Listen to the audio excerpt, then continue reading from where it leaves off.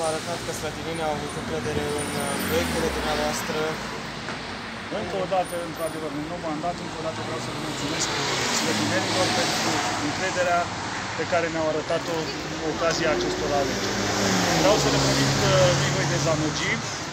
Suntem uh, o echipă, cum am fost și acum patru ani, o echipă care va sta la dispoziția slătinenilor, o echipă care va duce la bun sfârșit proiectele începute în acești patru ani și vom veni și cu noi proiecte foarte, foarte bune numai pentru slătineni.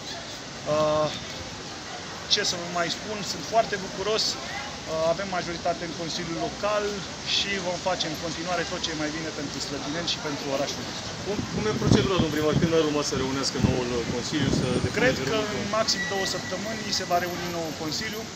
Așteptăm ca să vină și celelalte partide să-și ia mandatele, apoi vor fi trimise la judecătorie, vom fi validați și apoi va veni prefectura și vom face ședința de, de investire a Consiliului Local și a primarului. Apoi noi probabil vom face o altă ședință în care ne vom alege viceprimari. Și referitor la acest ultim aspect, rămâne echipa câștigătoare? După cum vedeți, noi avem majoritate în Consiliul Local și din punctul meu de vedere nu ar exista vreun motiv să nu rămânem în continuare cu aceeași echipă.